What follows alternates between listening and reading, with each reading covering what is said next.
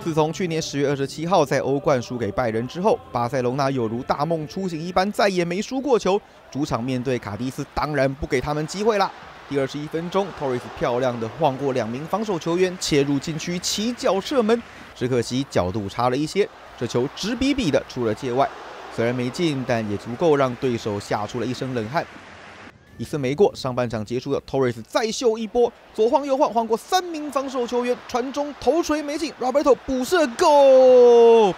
虽然 Torres 没有记上助攻，不过这次神乎其技的切入突破中围，找到 Lewandowski，头锤被挡下之后，Roberto 的补刀让巴塞隆纳还是首开纪录，取得领先。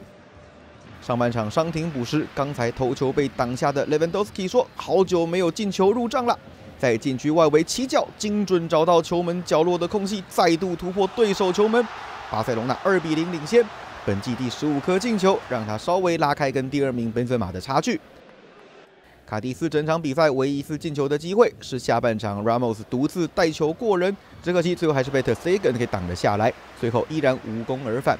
中场巴塞隆纳二比零赢得胜利，最近跨杯赛十六胜两和，已经快要不知道数字怎么写喽。